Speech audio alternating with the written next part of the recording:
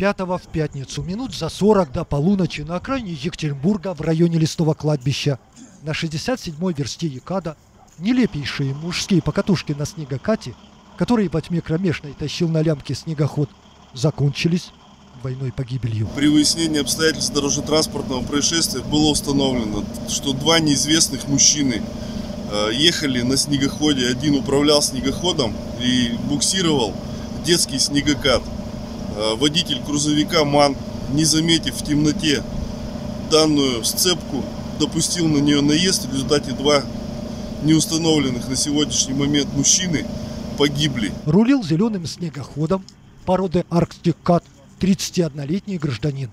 И в санках, точнее за штурвалом детского снегоката, судя по всему, сидел молодой мужчина, личность которого по горячим следам инспекторам ДПС выяснить не удалось.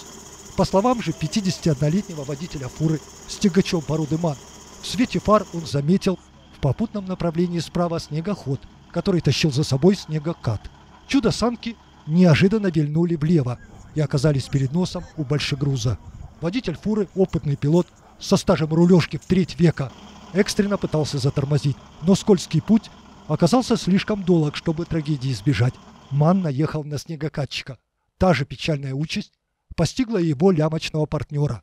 Дальнобойщика проверили на опьянение. Он оказался трезв, как стеклышко. Что двигало несчастными экстремалами, сказать сложно.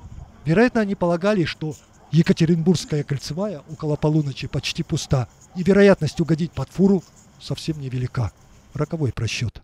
Обращаю внимание всех водителей, всех участников дорожного движения неукоснительно соблюдать правила дорожного движения в темное время суток, не находиться на проезжей части без светоотражающих элементов.